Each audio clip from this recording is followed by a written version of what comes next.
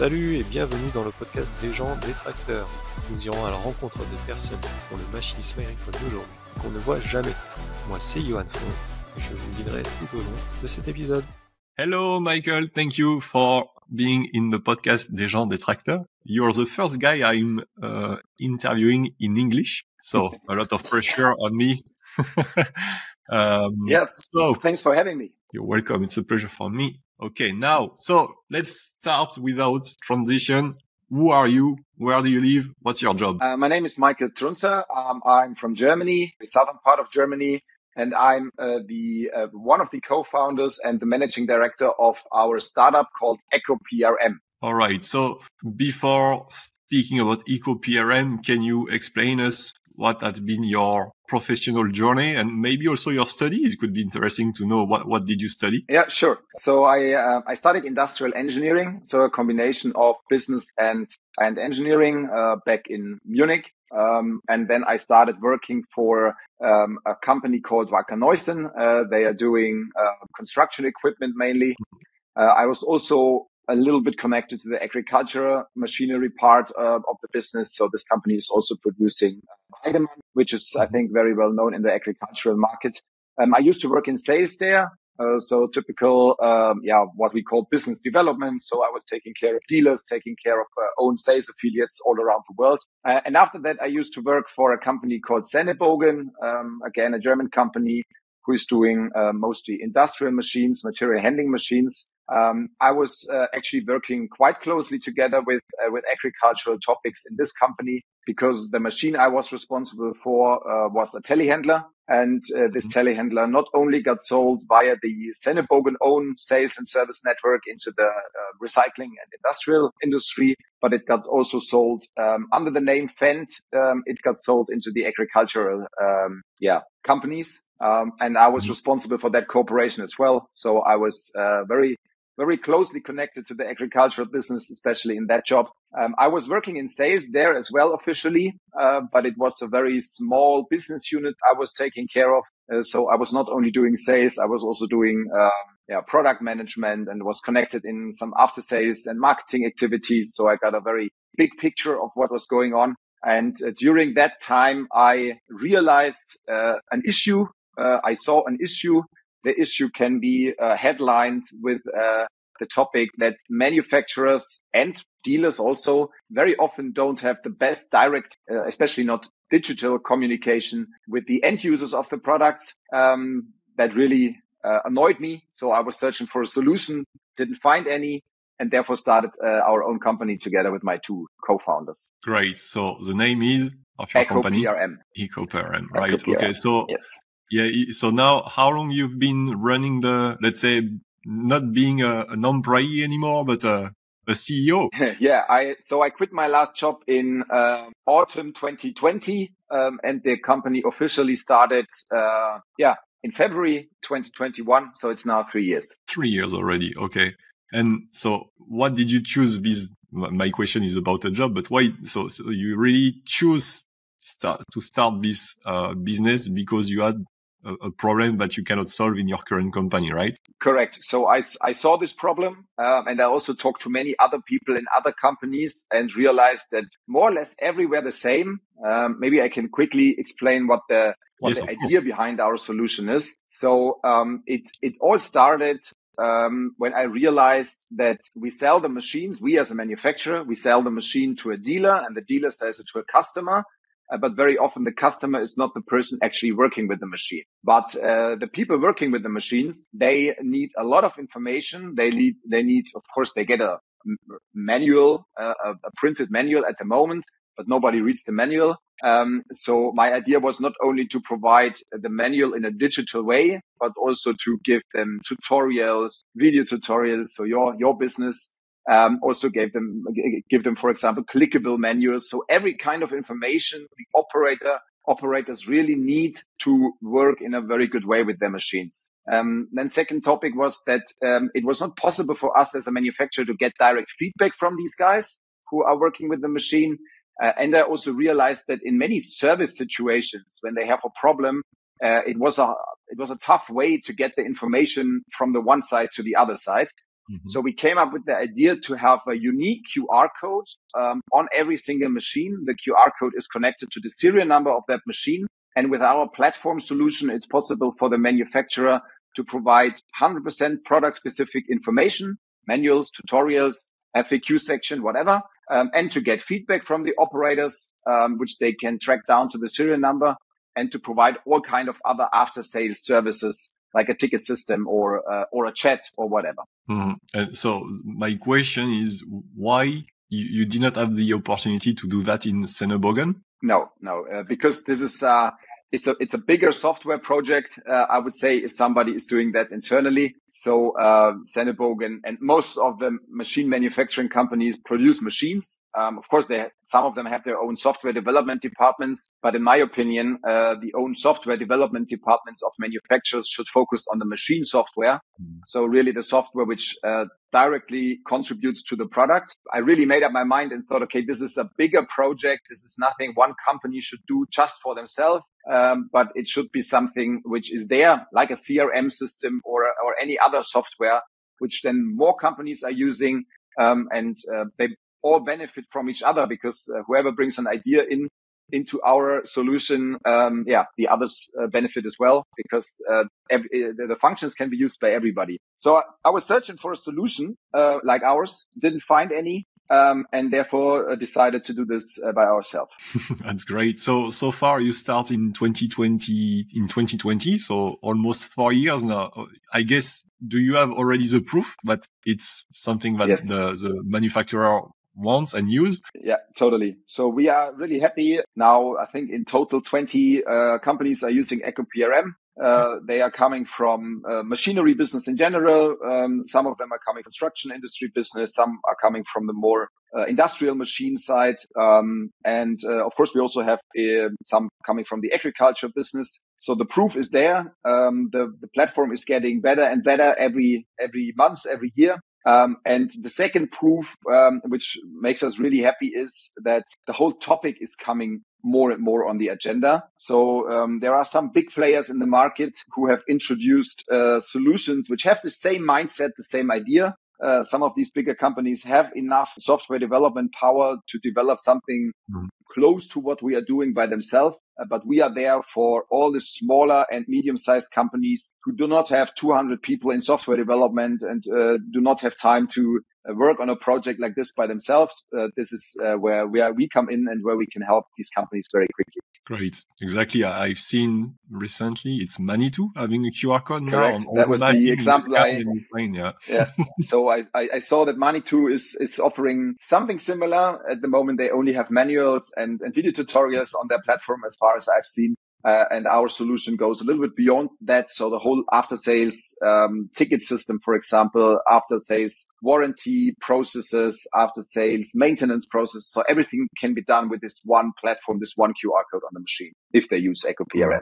Exactly. Okay, that's great. But, so but for us, it's but, but for us, it's always great to see that the topic is coming on the agenda also at the big players. So uh, all the small ones who who want to go into the same direction, uh, they are more than uh, more than welcome to contact us. Yeah, of course, they have to go to Echo PRM. so, yes. what, what's when you are running a company like that? Uh, by the way, maybe the first question will be: Do you have employees, or are you on your own? How, how is it working? Yeah, so we are three founders, um, and in the meantime, four other employees um, who support us in software development uh, and in sales and in marketing. So still a small team, uh, but very very agile team. So discussions are quick, uh, solutions are even quicker. So uh, it's, uh, it's it's a lot of fun working with with, with a very small but very dedicated team. Yeah. I, I guess yeah, it's a lot of passion. I guess so. What uh, what's a typical week look like when you are running a business like that? Uh, yeah, so some some of the things are similar every week, um, and then some of the things are completely different. Um, so we are we're a small company. We have to take care about everything by ourselves. So all the organizational stuff takes some time, but that's really different from week to week. Uh, if it's uh, if it's financing, if it's uh, organization, internal organization, which software we are using, and so on.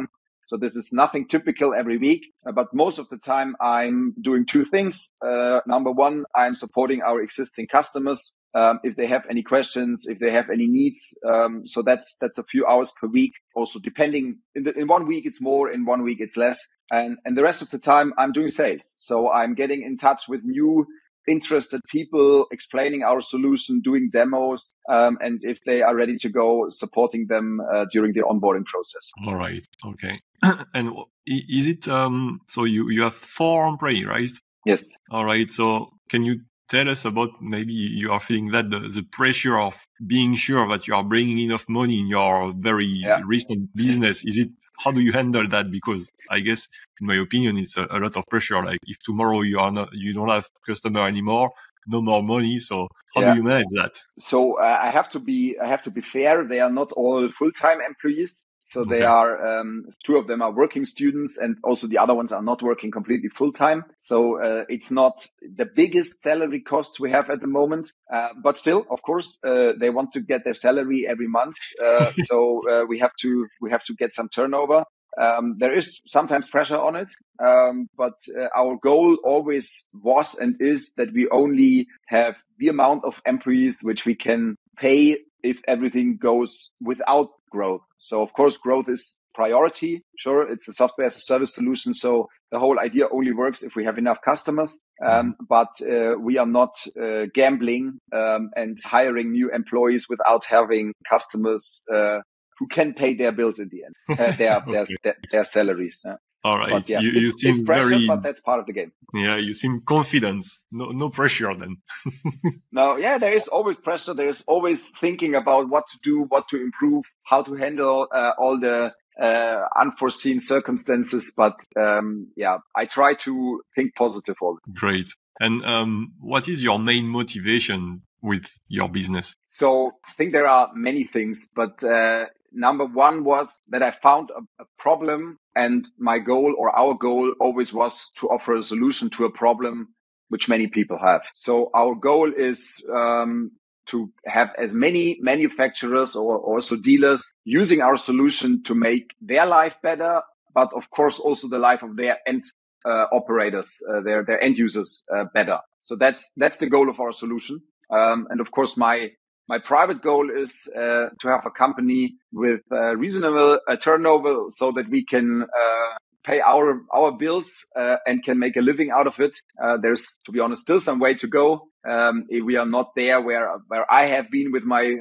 previous salary, mm-hmm. but that's not a problem because um, we see it in the in the long term. And as soon as more custom, as soon as more manufacturers and dealers are using our system, then uh, we will we will come there. Of course, and and being a um, an entrepreneur, is it something that you have been dreaming, or it's just the opportunity to solve a problem? Um, so both actually. I was always dreaming um, about having my own business, but to be honest with you, I never had a good idea.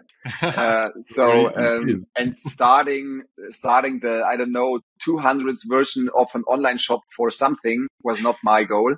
Um, so I was always uh, walking around with open eyes and ears to see if there's anything uh, which should be done and is not done yet. Um, and then this idea came up, or I realized that issue and thought, okay, that's not existing on the market yet, which really surprised me. Um, and I thought I'm 100% sure that I'm not the only one having that problem in in the machinery industry. So uh, I I realized that this could be the chance of uh, being an entrepreneur and starting our own business. Uh, sometimes challenging, but very often also very uh, satisfying. Yeah, I guess so. Oh, that's great. Good story. One day, do you think if if you have a problem, you will be okay to be uh, an employee again or not at all it's it's not a it's not a solution for you my clear plan is not to be an employee again um, you never know what's happening, of course. Um, it would always be a fallback strategy. The, with the history I have and the jobs I had, I think it's, it would not be the biggest problem to find a good job again, mm-hmm. but it's definitely not the plan. The plan is to bring that business to a level where we can make a living out of it and where we can develop the business further I'm 99.99% sure that I will not be an employee anymore in the future. Good. I like this mindset. yeah. So far, what is your best professional memory about that? Or, or maybe so, uh, about this adventure, or maybe before, so we can include your your employee jobs, of course. um, yeah. No, I have to say the best memory uh, was when the first customer signed a contract with us. Um, but actually, I have to say, every time a new customer signed the contract mm. with us is uh, similar to to the first one. The first one still was something very special. The first time that somebody really was willing to to pay money for what we are doing. So that was really a, a really really big step for us, and I'm really thankful to this first company who trusted in us. M- maybe some of you know this company, uh, at least if you are skiing or snowboarding. Um, it's the brand PistenBully. Actually, the two other brands this company has, uh, Beach Tech and Power Bully. So it's uh, it's the machines doing the snow slopes, uh, and the other machines are working in rural areas or in in uh, or on beaches. So this company, Kässbohrer Geländefahrzeug, uh, they have been the first ones ever trusting us, and so I'm I will always be thankful. Yeah, exactly. It's it's always very special. I had the same the same feeling when I signed my first customer, and yeah. uh, w- when you start your business, you're like, uh, you know, it's a problem you're solving, but you're never sure until somebody is paying and say, ah, yeah. yes, I know. But totally. after you're like, mm, is it really? And the second one is going to say, ah, I know, but every time after it's, you're never yeah, the sure. The first one is, the first one is always something special. So uh, I'm, I'm also, I have to say, if I would be um, still in the position of working at a manufacturer and a new company is coming up and offering a solution, uh, you need to have a lot of trust, uh, trust a company which does did not have any track record so far. Yeah, exactly. So I think that was the best feeling um, so far. Uh, also having the first employee was a very good feeling, but the first customer is, uh, I think, the best one so far. so yeah, it's interesting. You say you don't have any track record. So did you uh, have you done something special to to con- convince them or nothing? We actually convinced them by the functionality. So it was uh, it was a very cold contact I made via LinkedIn. So uh, the, the, platform where we also met. Um, so I just got in contact with a couple of people in this company, and one of them replied positively, and then we had a demo, and from there on it all started. So okay. it was a really a cold cold outreach. So yeah, exactly. You you put the the foot on the door, and after you you open the door. That's it. okay, yeah. great. So all right, and they are very happy so far. Yes, um, I think we should have we, we should ask them. But uh, according to their feedback, according to their feedback, they are happy. Uh, they are still our customers. They are still using Echo PRM. So I think that's that's the best sign. All right. And by the way, how how do you find your customer? So we uh, yeah we we basically start on on LinkedIn. So okay. we have a long list possible interested companies. Um, what we basically do is we have a look at exhibition lists of the main major exhibitions of uh, construction or agriculture machinery. So then we know which companies we want to talk to. And then we start on LinkedIn, try to get in contact with the right people. Um, if we find email addresses, of course, we, we email them and then we call them. So it's a typical process of trying, trying digital first and then picking up the phone and calling them. All right. And any advice you, you, you can give to the guys that are going to listen or or even for me because I'm in the same position. Uh, uh, yeah. For example, when you are writing on LinkedIn, do do you have a specific message you're sending, or you're just like let's let's write whatever no, yeah. you think? So I think the first advice on LinkedIn would be um, write very personal message. So it definitely does not work if you send the same message to 200 people, because mm-hmm. then they realize that this is something more or less automat- automatically. So what we always do, or what I always do, is I have a very close look um, at the profile of the person I want to contact, see if I find anything which could fit into our topic, and then write them a message which is, which is quite specifically to their situation, to their uh, position and so on. But I have to be fair, uh, LinkedIn is not always easy. Uh, I think you know that as well, because people on LinkedIn get many, many messages. So um, what what really is what what's, what a,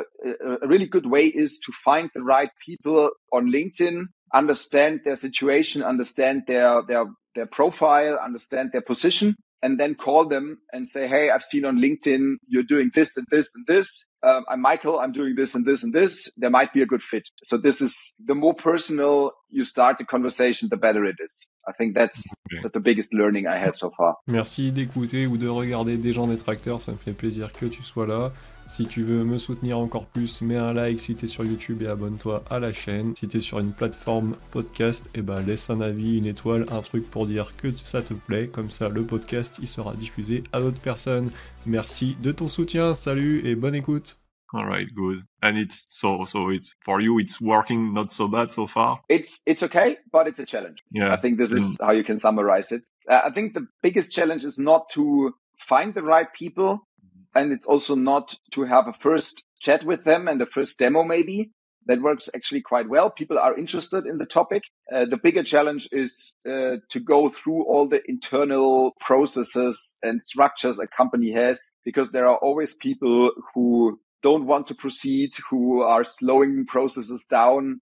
And that's the biggest challenge that it takes for ages um, until you get the final approval. And you are, are you prospecting 100% through LinkedIn or maybe? No. So LinkedIn is always the starting point, um, and then we are trying to find people on their websites. Sometimes they have okay. email addresses on the website or even telephone numbers, and we call them. So it's I think mainly LinkedIn and telephone. Okay. And wh- when you have done the first contact, or or maybe no contact at all, but you try to contact people, uh, how many times do you try to call again and call again and call again?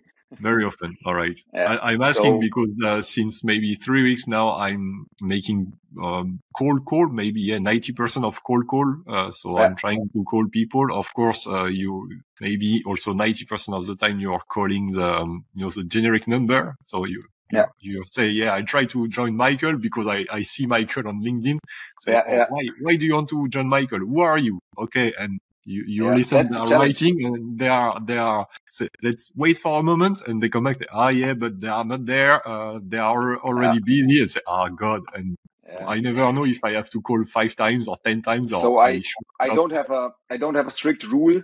Um, but I think, um, I try at least three, four, five times. Um, and if I'm not reaching the person, then I will, I'm trying to find another person. Um, and what also sometimes is a good way to move forward. So there are some big exhibitions every year, um, like uh, just uh, in November for the agriculture sector, or the Bauma in Munich for for the construction business. So in many cases, I know two or three people of a company I tried to contact in the past. And if I was not successful, I just visit their booth and ask for the specific person because then they cannot run away. Mm-hmm. Okay, that's true. And I see you've done that for the last Agri Technica. In, in my opinion, I, I, I had a couple of, um, former colleagues that also told me that when I was contacting contacting them on LinkedIn, they were saying, go on the show and you will be there. But I, have been on the show. So being, um, uh, having my, my machine on the show and I was yeah. never very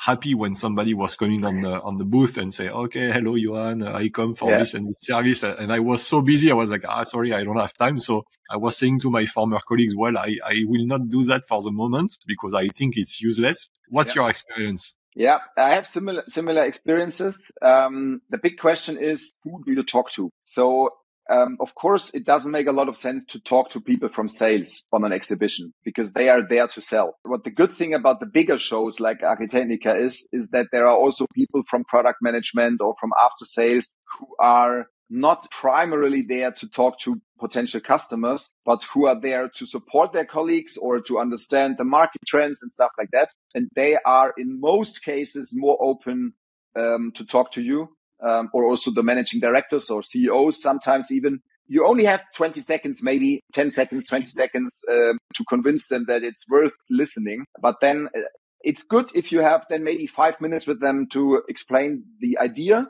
And I would say in 90% of the cases, the people are then willing to listen. Um, and of course, nothing happens on the show nothing, no deal, of course, nothing like this. But at least you get their, their, their business card and have a chance to talk to them later on. And then it's a different level of communication if you have met them in person before. Mm-hmm. Of course, there are also the 10% of the people who, who kick you out of the booth and don't want to talk to you. Um, but that's, that's also part of the game. Okay. So your your and, approach approach will be to try to meet somebody, speak with him, and after you will call him and say, "Remember, we met," and that's correct. what making the big difference because they they see you face to face. Right? Okay, good. Yeah. yeah. I get it. I think.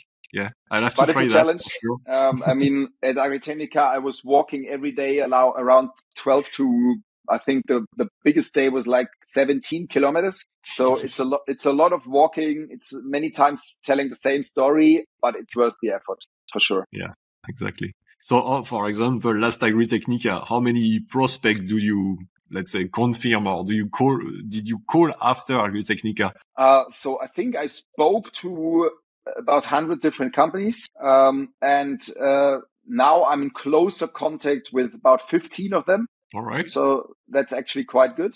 Um, mm-hmm. so I normally send them an email after the show, uh, saying, saying thank you for, for the coffee or whatever I got. Um, and then, um, yeah, we, we move on from there. Then we do a demo, have a closer discussion. You, you never know what's, what's happening afterwards. There mm-hmm. are many things that can stop us or, uh, uh, at least postpone the topic to uh, in a year's time or so.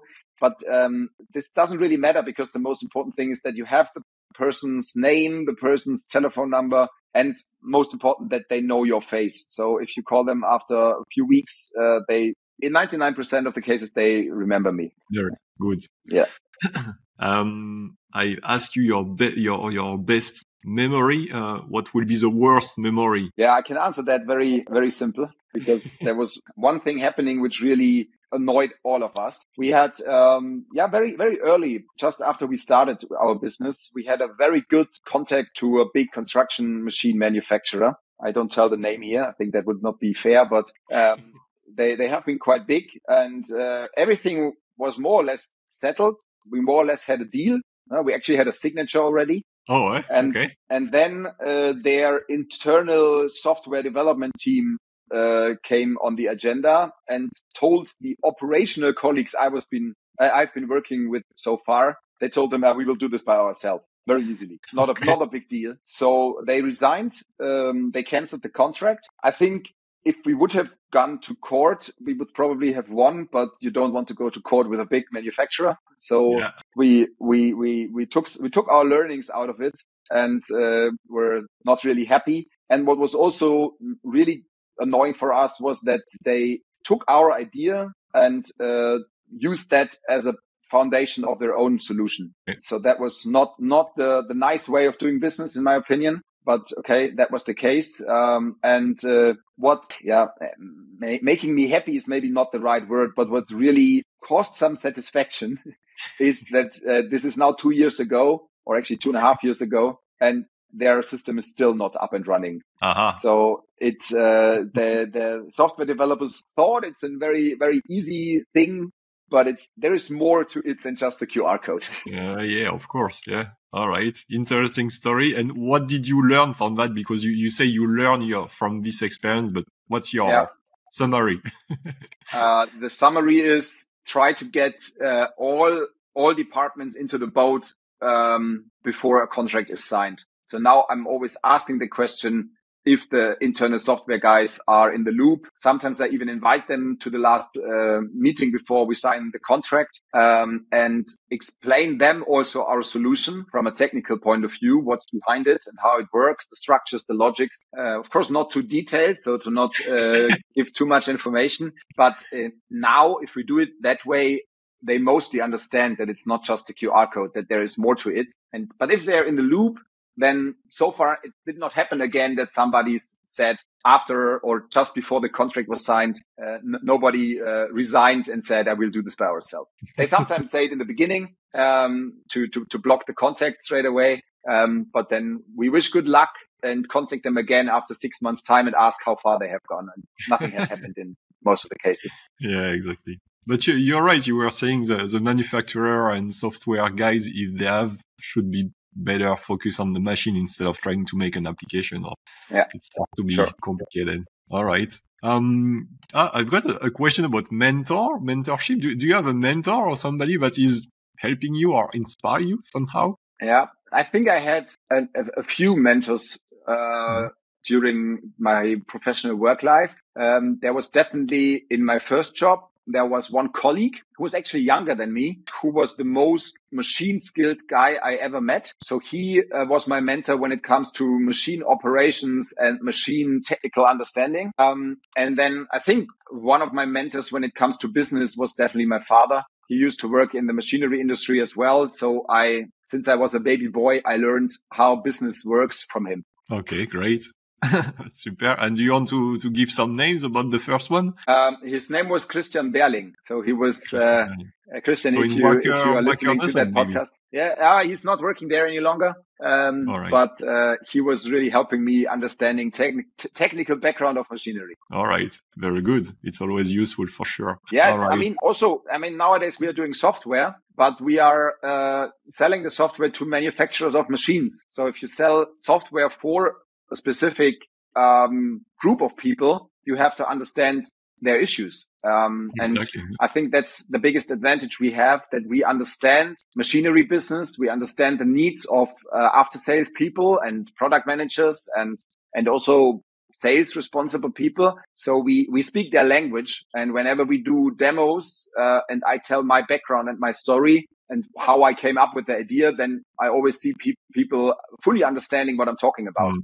And that really exactly. helps to make the right software solution for them. Yeah, exactly. I, I remember the first time we talked together, but the, the first thing I had is, yeah, this guy is, is coming from the same world as me. He, he has a solution yeah. and yeah, it's same language and same expectation. And this is, yeah. hey, it's, it's giving a lot of trust because you say, okay, I, am not within a, a SaaS company that has no idea about machinery or something like that. And he's just trying to sell something. So yeah, it's, it's absolutely. Important. Yeah. So that, I think that's important. And uh, I'm talking to so many different manufacturers uh, since we started Echo PRM. So, uh, and with every discussion I have, I learn more and mm. get a better understanding of what is important and maybe what's not so important. Exactly. All right. Um, we speak about uh, a lot about artificial intelligence. Are you using that in your tool? Um, so me personally, I'm using it a little bit um, when I create texts and stuff like that. Um, so it's it's supporting my daily business a little bit. Mm-hmm. Um, and we are now analyzing how this could help our solution. So there are a few ideas, um,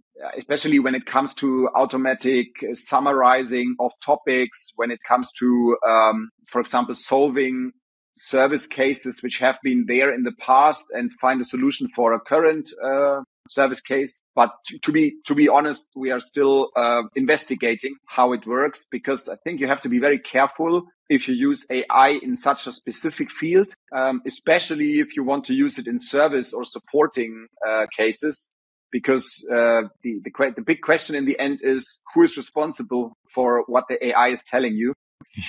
so the AI, uh, if the AI is telling you to, I don't know, do this and this on the machine, and this is wrong, who is responsible, who is who is liable. That's a big yeah. question. But I'm 100% sure we will see something in the upcoming months or at least years uh, also coming into solutions like ours. There are Great. many things we have in mind. Mm, exciting. Yeah, I've seen a, a, couple of solutions on, on the web, like the knowledge base with AI and you just load all your stuff there. And after magically yeah. it's, it's popping up some solution. But you're right. Sometimes I, I have I've made a test with um, a free solution. So mm-hmm. you have different pricing, but not most of the time the first uh, tier is free. So yeah. I, I try, I load a lot of documents on there and then I ask question and, and same on the paper. It was beautiful, but the first question I asked, it was completely stupid. I was yeah. like so disappointed because uh, for yeah. me, it's a, it's a solution. But uh, as you say, yeah, it needs, I think, a lot of work and responsibility. I think, I think this will, this will get better and better.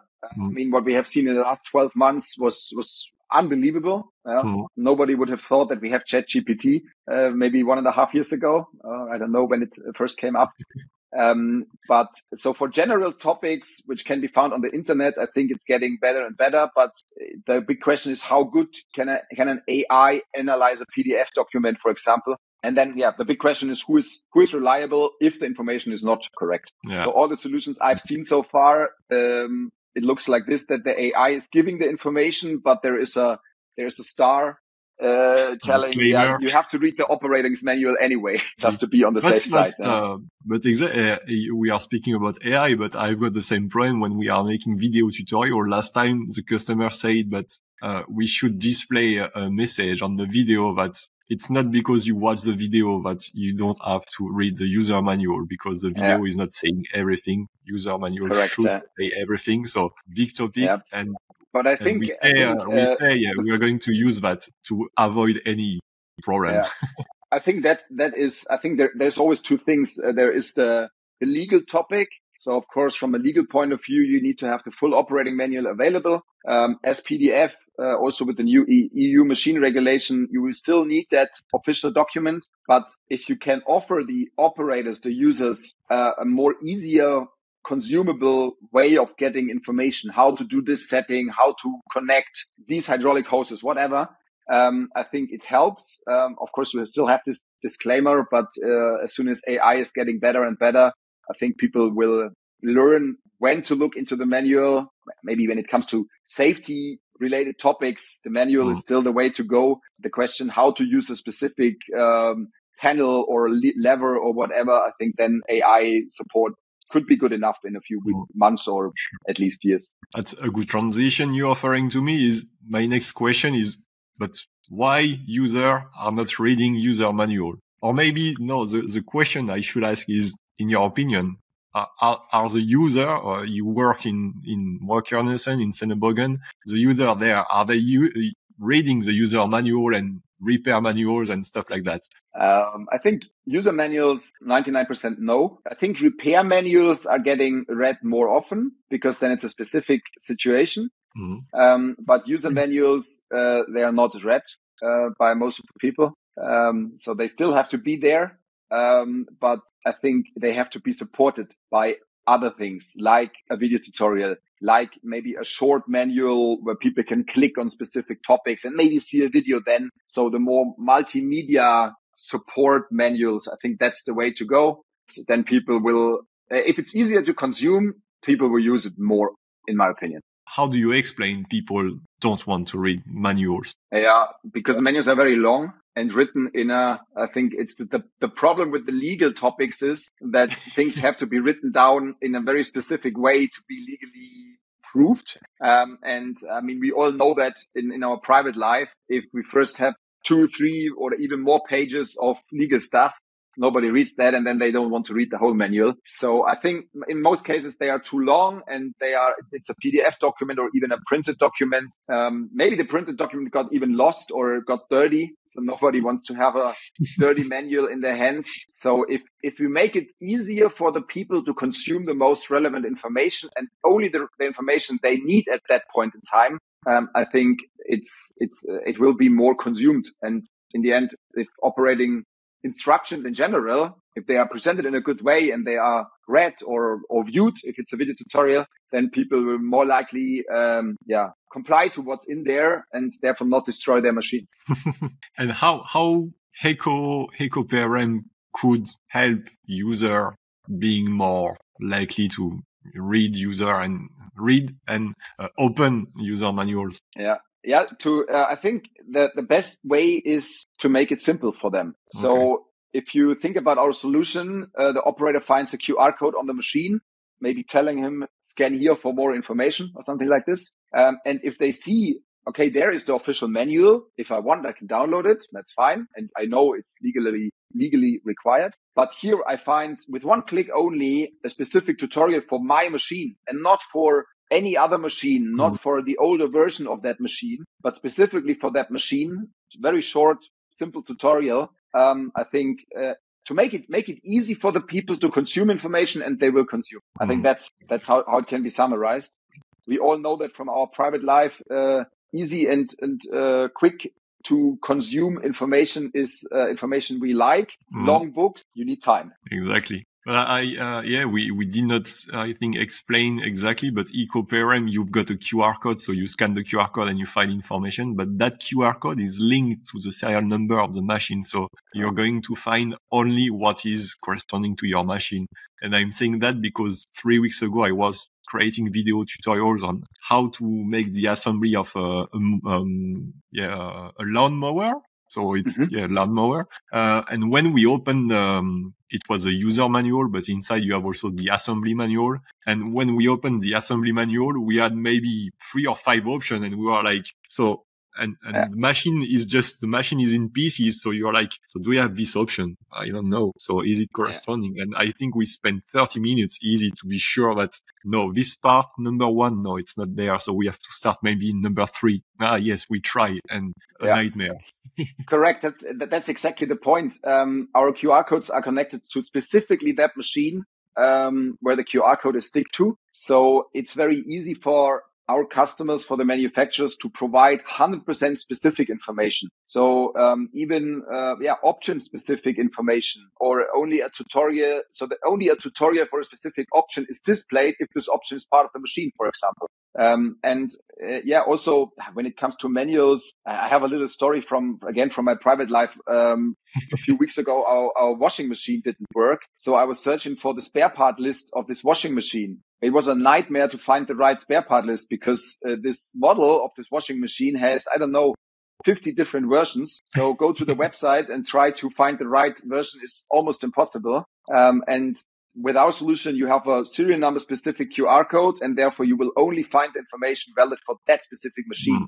The right menus, the right tutorials, the right technical data, without having to search for the right uh, information. It's always there with one scan and one click. Mm. Very interesting because now we are pushing more and more with the, the right to repair and also for the sure, washing yeah. machine or even uh, yeah everything like that so if if you struggle to find everything you well you're not going to repair of course you prefer to change it because it's too difficult yeah. to find a solution totally uh, yeah and what you are just mentioning there's uh, the big project coming up from from the european union called digital product passport mm. so that's also actually exactly our topic. Um, it's a passport specifically for that product the person has in front of him or her. Um, and in my opinion, you should find the right material information, the right assembly or dismounting information, recycling information for that machine you have in front of you and not for a whole product group of different machines, which where, where this one could fall under. And, and, by the way, it, it makes me think you, so you, you're working for, let's say, machinery. It could be industrial or maybe public works. I, am not sure how we say this in English, but excavator and stuff like that, let's say. Yeah. Yeah. And why not ag machinery, of course? Uh, if tomorrow you've got a washing machine manufacturer coming to you and say, Oh, Michael, we want your solution. Are you in or you say, no, my, for now, I'm trying to develop my business with machinery. Do you, do you no, accept or do you refuse? Yeah, of course we accept. Um, so our, our focus is on uh, machinery because this is where the idea was born. This is where, mm. as I mentioned previously, where I really can talk on the same level with the people. But um, nevertheless, we have a look to the left and to the right and see which other products could be interesting for our solution. So, for example, one thing um, we always have in mind is camper vans and, and mobile homes and, and uh, products like that. They have exactly the same situation as machinery. Um, it's a manufacturer. He's selling through a dealer network. Uh, the products are complex um, and they have a serial number. So as long as the products um, a manufacturer has have a serial number, our solution works extremely good. Um, it's mm-hmm. not made for fast consumer products. I think that's not where we are in. But uh, every machine which has a serial number, 100%. Yeah. Coffee machines, washing machines could be mm-hmm. interesting. Um, of course, also components. We one of our customers um, is uh, is producing components, or actually now two two are producing components, which then go into a machine. But they also have a serial number. They also have manuals, service manuals, assembly instructions. Uh, they also have service topics. They also have uh, a need to get feedback. So uh, whenever a product has a serial number, then we are very happy to support. Des gens détracteurs, c'est fini. Euh, oui, ça dure jamais assez longtemps. T'es arrivé jusqu'au bout. En tout cas, je te remercie. C'est que t'es un vrai passionné du secteur. Si tu veux m'aider à faire monter ce podcast et le faire connaître au plus grand nombre, s'il te plaît, si t'étais sur YouTube, abonne-toi à la chaîne et mets un petit like sur la vidéo. Si t'es sur une plateforme d'écoute, ben, laisse un avis, mets une étoile, tout ce qui peut aider à le diffuser au plus grand nombre. En tout cas, je te dis un grand merci et on se voit au prochain épisode. Salut